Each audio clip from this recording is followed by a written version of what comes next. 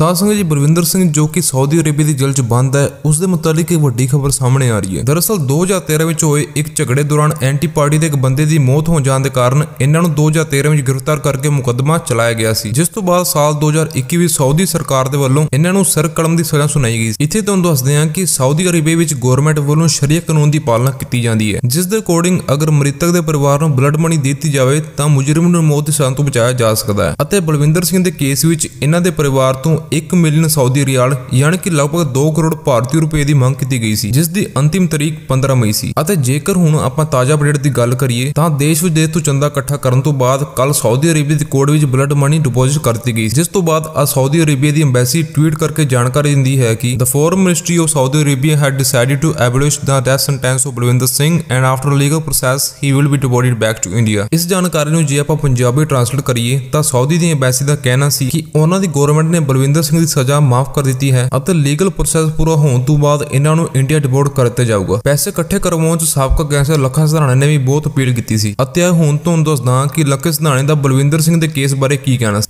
Appeal ਕਰਦਾ ਕਿ ਕੁਝ ਸੱਜਣ ਜਿਹੜੇ ਇਹ ਸਾਡੀ ਗੱਲਬਾਤ ਸੁਣਨਗੇ, ਜਿਹੜੇ ਇਸ ਮਸਲੇ ਬਾਰੇ ਜਾਣਦੇ ਆ, ਕਿਉਂਕਿ ਪਹਿਲਾਂ ਇਹਨਾਂ ਨੇ ਇੱਕ ਵਾਰੀ ਪੈਸੇ ਪਾਤੇ ਸੀਗੇ।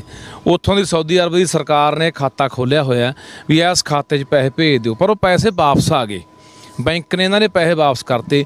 ਜੇ ਕੋਈ ਇਸ ਕੰਮ ਦਾ ਕੋਈ ਦੁਬਈ ਬੈਠੇ ਬੰਦੇ ਜਾਂ ਕਦੇ ਸਾਊਦੀ ਅਰਬ ਬੈਠੇ ਜਾਂ ਕਦੇ ਹੋਰ ਬੈਠੇ ਬੰਦੇ, ਇਸ ਕੰਮ ਬਾਰੇ ਜਾਣਕਾਰ ਨੇ, ਮਾਹਰ ਨੇ ਵੀ ਕਿਵੇਂ ਪੈਸੇ ਉਹਨਾਂ ਦੇ ਖਾਤੇ ਜਾ ਸਕਦੇ ਤਾਂ ਉਹ ਵੀ ਇਸ ਪਰਿਵਾਰ ਦੇ ਨਾਲ ਸੰਪਰਕ ਕਰਨ।